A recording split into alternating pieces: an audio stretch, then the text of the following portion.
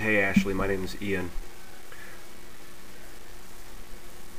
I just watched uh, this video on the problem.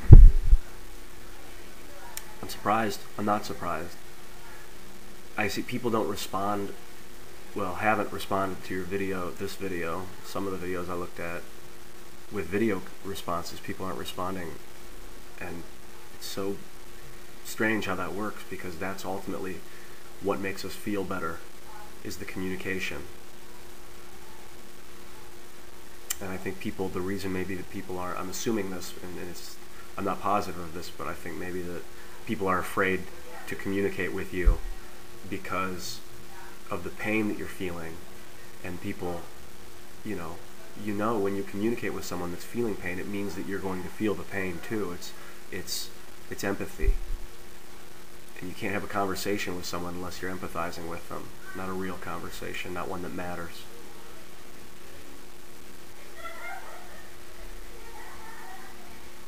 I'm, and I'm empathizing with you. I guess I should just let you know that. I'm empathizing with you. I have been severely depressed the majority of my life since I was like six, seven years old. It really got bad when I was like 10. And I just buried myself in video games. Video games. Not alcohol, thank God. Although entertainment's just as bad, just as dangerous. You get absorbed in it.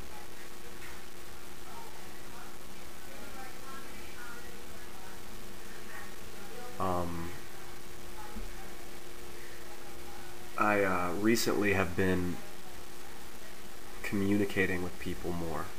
I, I, Amanda, my girlfriend Amanda, and I have broken up and gotten back together a few times. We've been together about eight years, and we just went through about eight months ago, nine months ago. Keeps getting farther and farther away every time I talk about it but like we had this just the situation where I knew I had this situation where I knew that if I didn't change the way I was acting, I was playing video games, I was avoiding her depression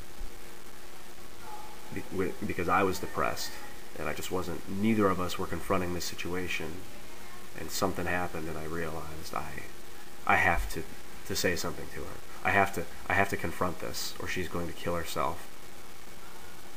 So I did. So I so I opened up. I dropped all my guard. I dropped all pretense. I stopped saying what I thought she wanted to hear. I stopped it all. I just decided to totally exist as myself with her. With with her, and I did.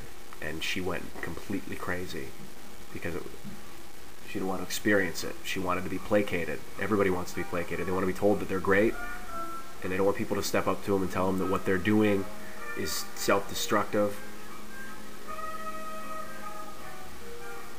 No one wants to be told that. And that's not the way to go about it. I didn't tell her she was bad or wrong. I, I told her that what I was doing was self-destructive, and I told her why. I opened up. I was afraid. I am afraid still. I'm afraid of people. I think everybody is. But it's the fear that we have to overcome talking, opening up to someone that we don't know. I mean, who do we really know? We don't know anyone else. We don't know what their experience is. We don't know their consciousness. All we know is what we know. All, all we know is us and what we feel and think. We don't know other people. We don't. We'll never know other people. We, we constantly live in a, in a state of panic and fear, and we suppress it and we pretend like we're happy. When in truth, happiness is fleeting, just like sadness is fleeting.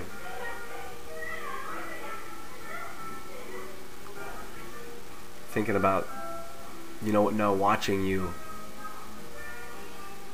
experience it. By it, I mean the pain. That it's fucking amazing, though, isn't it? I mean, it is amazing. It's painful, but it's amazing. It's just as important as love. Just as important. it's just as fucking important as love. 50 50.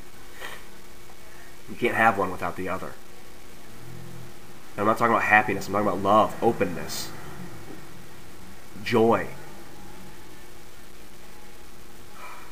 Where you don't, where you're not hiding anything. And so what I've done is I've taken this concept and I've put it in I put it into effect in every aspect of my life with everyone I know, everyone I meet, everyone I don't know, with my videos on YouTube, with people every day, at the drive-through, at work. Uh, this manager that I just met a couple days ago, Bob, I knew he, he worked at fucking Universal Studios for a long time. Like he's worked in this industry. He's a real guy that can get me jobs and my, my instinct is to freak out, is to clam up and, and stop being who I am around him. Because I think something else might be a little better. If I listen a little more, maybe take it easy and wait, then maybe it'll be better. But the truth is, fuck, that's not right. That doesn't exist. The truth is that I am who I am, and I, that will never change. I will listen and my beliefs will change, but who I am in this moment That's it. And it's the same way for every single person on this planet. Every single fucking person in existence, wherever they are. If we're on another planet, who knows? Anyway, that's a little off subject. Yeah, I, I think that maybe people exist on other planets. People like us. It's possible. Why not? There's no coincidences. I'm glad I ran across your videos. I'm just I'm looking at your face right now for the I am the problem video in the beginning. You're kind of looking down to the right, probably at your computer screen maybe, and you just I feel the pain. The pain is amazing. Letting out letting out the pain is the most amazing part, which is why you're fucking so fascinating because you're doing it on YouTube and people want to get in touch with that. All right, man. I'll talk to you soon.